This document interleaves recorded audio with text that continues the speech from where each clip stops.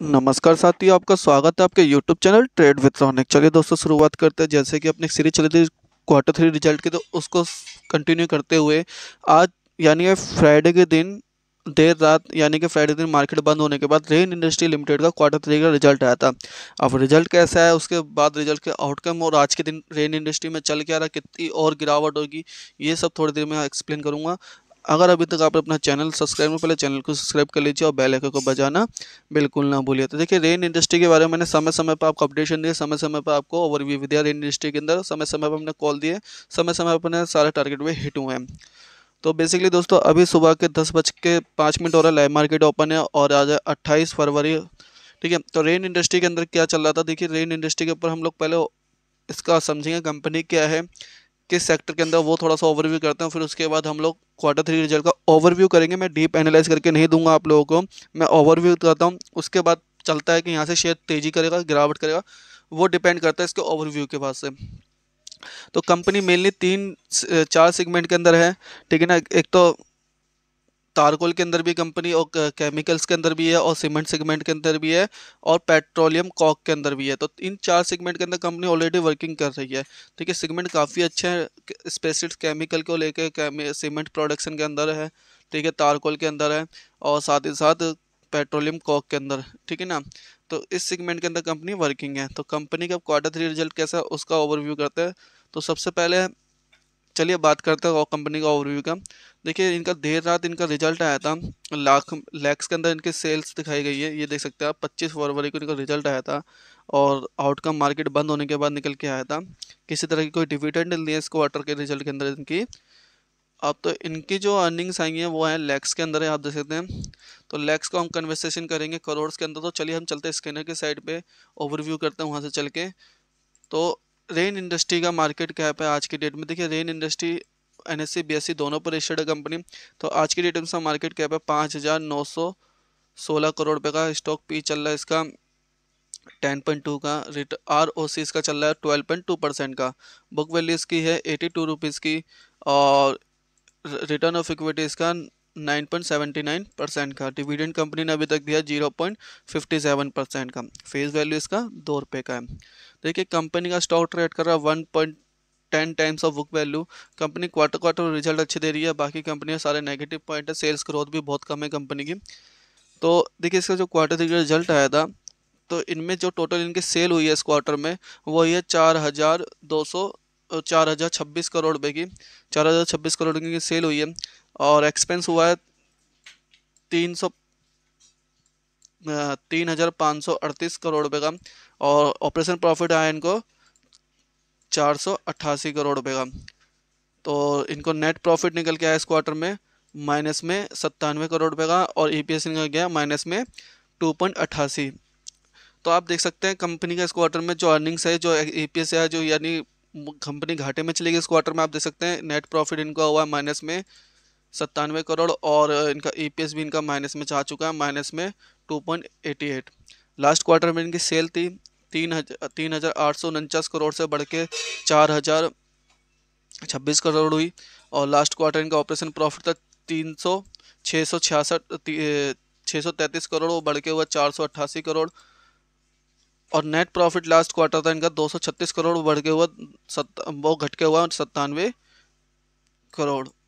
और ई e इनका था सात, सेवन, वो घट के हुआ है 2.88 तो देखिए ईपीएस में बहुत बड़ा डिफरेंशियल देखने को मिल रहा है हमारे को ऑपरेशन प्रॉफिट के साथ साथ नेट प्रॉफिट के अंदर भी घटत देखने को मिली हमारे को क्वार्टर क्वार्टर वाइज रिज़ल्ट के अंदर। आप देख सकते हैं, सितंबर क्वार्टर के अंदर ईपीएस तक का सेवन वो घट के सीधा माइनस में चला गया, यानी कि थोड़ा बहुत कम होता, मगर कंपनी अच्छे खासा घाटे में जा चुकी है।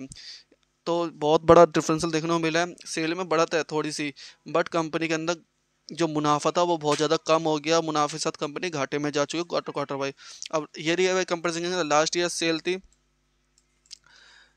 दो दो हज़ार छः सौ चालीस करोड़ से बढ़ के हुई सेल चार हज़ार छब्बीस करोड़ रुपए की और ऑपरेशन प्रॉफिट था हमारा तीन सौ इक्यासी, वो बढ़ के हुआ चार सौ अट्ठासी। ऑपरेशन प्रॉफिट में बढ़त देखने को मिली सेल में बढ़त देखने को मिली हमें quarter quarter year year Y, ये बढ़त देखने को मिल रही है। बट नेट प्रॉफिट था हमारा लास्ट ईयर 307 करोड़ वो घट के हुआ माइनस में, सत्तानवे करोड़। तो नेट प्रॉफिट भी ईयर ईयर क्वार्टर क्वार्टर में भी अच्छे खासे घटत देखने को मिली है। अब ईपीएस की बात करेंगे लास्ट लास्ट ईयर ईपीएस था नाइन पॉइंट तेरह। वो घट के हुआ माइनस में टू पॉइंट एटी एट तो आप देखेंगे EPS में बहुत बड़ी डिफरेंशियल देखने को मिले हमें क्वार्टर क्वार्टर वाई और ये वाई देखिए रिज़ल्ट बहुत ख़राब देखने को मिला। हमारे को सेल में बढ़ा था थोड़ी बहुत, बाकी रिज़ल्ट बहुत ख़राब है।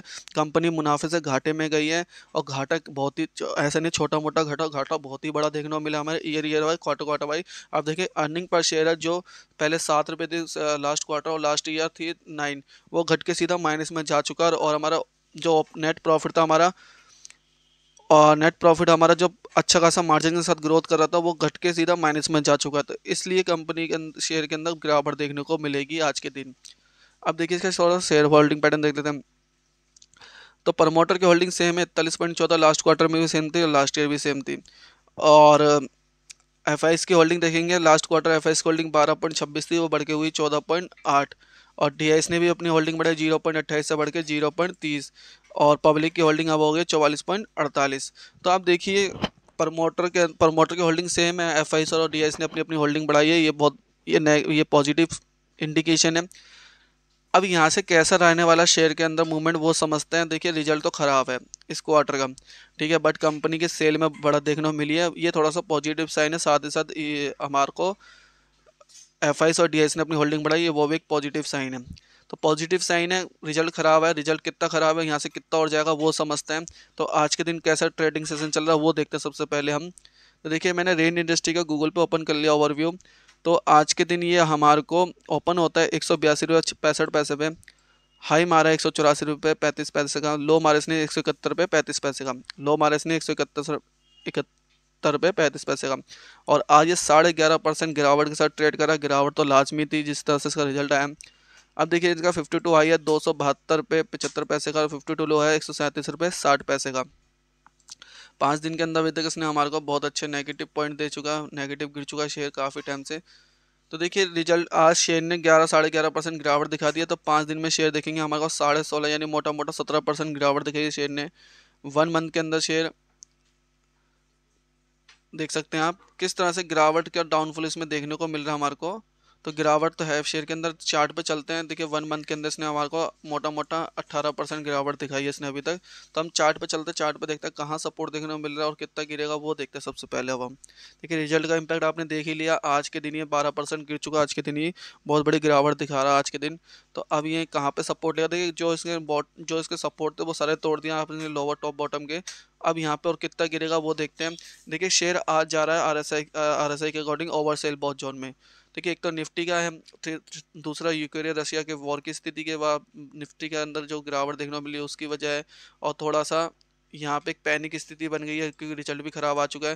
देखिए, एक सपोर्ट लगी हुई है एक सौ अड़सठ रुपये की। अगर एक सौ अड़सठ रुपये की सपोर्ट ये चार्ट में ब्रेक करता तो इसमें और गिरावट देखने को मिली। बस मुझे लगता है कि जितना गिनना था, क्योंकि रिज़ल्ट इतना खराब नहीं है, जितना हम लोग सोच रहे हैं। कंपनी घाटे में आई कंपनी के सेल में ग्रोथ है। नेक्स्ट क्वार्टर में जब भी रिज़ल्ट आएगा, ये रहा अच्छा अच्छा अच्छे खासे रेवेन्यू के साथ कंपनी आएगी। तो यहाँ पे क्या देखना है हमारे को? यहाँ पे एक सपोर्ट लेके चलेंगे, एक सौ एक सौ अड़सठ रुपये के स्टॉप से अभी भी से बाय करिए। जल्दी आपको एक से अस्सी के लेवल जल्दी दिखाएगा आज के दिन, या कल के दिन में जल्दी रिकवरी दिखा भी देगा शेयर के अंदर। मूवमेंट इतना ख़राब नहीं है। थोड़ा बहुत ख़राब है रिज़ल्ट कंपनी घाटे में तो आई है मगर घाटा आज देख लिया उन्हें अगर वो तीन चार दिन के अंदर गिरावट दिखाता तो आज इसने अपना बारह परसेंट गिर चुका है। तो गिरावट तो हो गई, इसके अंदर जितनी हो रही थी आज के दिन ही। बट एक सपोर्ट एक सौ अड़सठ का अगर वो होल्ड करता तो ठीक है, नहीं तो उसके बाद दूसरी सपोर्ट हमें दिख रही है एक सौ इक्यावन पे। एक सौ अड़सठ का लेवल होल्ड करता तो ठीक है, दूसरी सपोर्ट है हमारे को एक सौ पचास रुपये की, डेढ़ सौ रुपये की सपोर्ट, एक एक सौ अड़सठ की दो सपोर्ट है। यहाँ से शेयर वापस रिकवर दिखाएगा तो आप देख सकते हैं, एक सौ इकहत्तर के बाद से शेयर ने वापस से ट्रेंड रिवर्सल हुआ शेयर के अंदर, और शेयर अभी एक सौ चौहत्तर, एक सौ पचहत्तर पे चल रहा है। तो देखिए, अगर आप लेना चाहते तो अपने रिस्क पे ले लीजिए बट मेरा मानना है कि एक सौ अड़सठ के स्टॉप लॉस से अभी भी यहाँ से फ्रेश बाइंग कर सकते हैं। जल्दी एक सौ एक सौ अस्सी के लेवल दिखाएगा अगर आपके पास ऊपर लेवल से तो होल्ड रखिए, जल्दी ये शेयर रिकवर भी कर जाएगा। गिरावट बहुत तेज़ी से हो गई, इसमें ओवरसेल बहुत जोन में जा चुका है शेयर कभी भी इसमें वापसी रिकवरी देखने को मिल सकती है। रिज़ल्ट ख़राब है, मगर इतना ख़राब नहीं है कि इतना पैनिक नहीं होना इसके अंदर, ज़्यादा ख़राब नहीं है, ख़राब है रिज़ल्ट रिज़ल्ट का इम्पैक्ट आपने देख ही लिया है।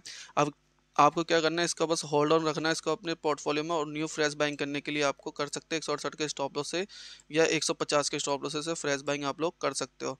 तो यहाँ से आप लोग एक सौ पचास के फ्रेश बाइंग कर सकते हो, एक सौ अड़सठ के स्टॉप लॉस दो लेके चलेंगे यहाँ से पहला हिट क्योंकि एक सौ अड़सठ का अभी यहाँ पे होल्ड कर दो, ठीक है, नहीं तो एक सौ पचास पे तो अच्छी खासी सपोर्ट है, यहाँ से रिकवर डेफिनेटली करेगा ये। एक सौ पचास के लेवल के वास्ते इसमें फिर से तेज़ी देखने को मिलेगी आपको, एक सौ पचास तक के लेवल तक के लिए आपको पैनिक नहीं होना है। जितनी गिरावट होती वो हो चुकी है, अब यहाँ से करेक्शन के बाद शेयर के अंदर फिर से बाइंग देखने को मिलेगी और जल्दी इसमें वापस से ट्रेंड तेज़ी के देखने को मिलेंगे। आई होप ये वीडियो आपको इस तो प्लीज़ वीडियो को लाइक शेयर फॉरवर्ड करना बिल्कुल ना भूलें। Thank you so much for watching this video